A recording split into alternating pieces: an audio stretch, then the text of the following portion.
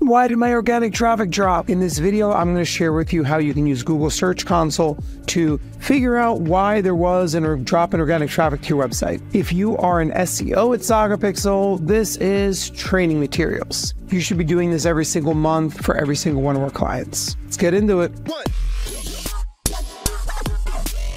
My name's Frank. I'm the founder of Sagapixel. I use Google Search Console to do the task that I'm about to spell out to you probably three or four times a month when it comes to our website. This is what that process looks like. First, you need to find what pages were behind the drop in organic traffic. Then you want to see what queries were behind the drop in organic traffic. Then we need to figure out why there was a decrease in clicks, which is usually going to be for one of four reasons. Number one, and probably the most common, you had a drop in average search rank. In other words, you moved from positions one to two and you lost a third of your traffic.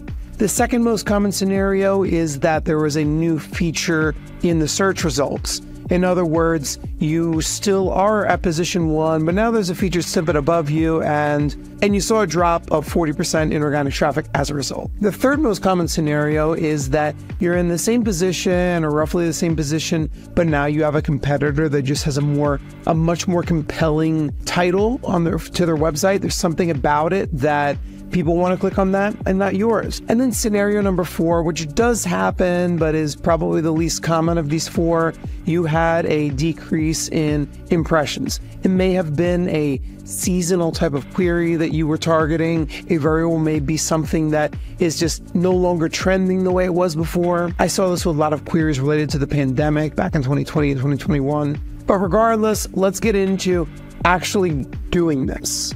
So you're going to fire up Google Search Console. You're going to go over to your to your property. We're going to go over to where it says date, and I'm going to set this to compare. Well, as a matter of fact, first you should start off by just looking at the long-term trends, just to see if there's anything that you see, possibly like a, an overall decay in traffic over time. If there's any sort of other trends that you should notice.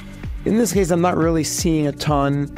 The, really, the first thing you're going to be checking is going to be this comparing the last 28 days to the previous 28 days. Or possibly you're going to be comparing the last 90 days to the previous 90 days. And the next thing we're going to do is go over to the pages report. Now, we're going to sort this by clicks difference. If I want to look at the articles that have seen the biggest drop in traffic, I'm going to get that. And if I want to see the ones that have seen the biggest increases in traffic, I'm going to get that too. Obviously, if you're concerned about a drop in traffic, you're going to be ordering them by the largest decrease. So I now have it ordered in that way. I'm going to have to check these one by one. I'm going to click on this first one that saw the biggest drop out of all of these. Pro tip, however, you should also really check to see if any of these have gone to zero. That could be a scenario where you had a URL that got changed, an article that inadvertently was deleted, or some sort of other major issue. There aren't too many scenarios where you should have pages that are going from even 75 clicks to zero clicks in the matter of a month. I'm going to click on this and I'm going to start checking the things that I mentioned at the earlier part of the video. First, have we seen a decrease in average position for the queries that were driving traffic?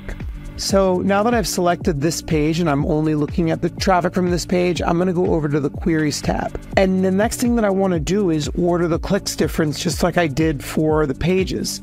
And in this case, I'm seeing my website doesn't show up on Google search had the biggest decrease in clicks. I'm going to disengage the impressions. I'm going to enable the average position and then scroll down a little bit. So over the last 28 days, we've averaged position 6.2, and in the previous 28 days, we averaged position 6. So it's basically the same. So next question, was there a decrease in impressions? Like were fewer people looking for this? Was this something that was trending and stopped trending?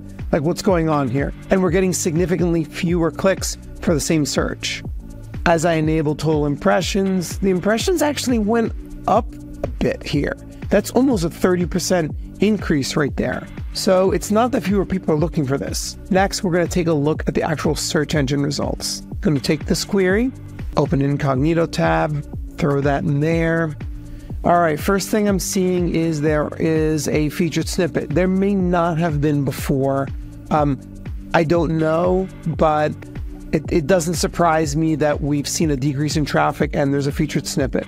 As I scroll down a little bit, I'm also seeing this carousel of videos. I haven't been monitoring the search results for this query, but there's a good chance that that carousel is new. As I scroll down the page, I'm seeing other websites that are ranking here. Apparently, like Squarespace has a forum that is ranking here. Know, we have some pages from, from Google and from Ahrefs, some very authoritative websites. This could be a scenario where a competitor that with a very strong brand like Google or Ahrefs now is ranking for this query and they weren't before. People don't really have a reason to scroll past it. And even though we haven't dropped in position, people really don't have a reason to scroll down to position six for this search result. This being a case where Google's search results have possibly improved and we're not getting the traffic now. At this point, I would also usually check the search results to see if there's just a something that we can do with our title tag to make it more enticing to people to make them want to click on it. But in this case, it may actually be a case of us being a victim of our own success because I don't think that that video carousel was there before and it now is. But frankly, we're in it. So we're getting this traffic. It's only coming to our YouTube channel instead of our blog. I hope that this video was helpful. If it was, please consider giving it a like. And if you have any questions or comments, leave the comments. I will be checking them.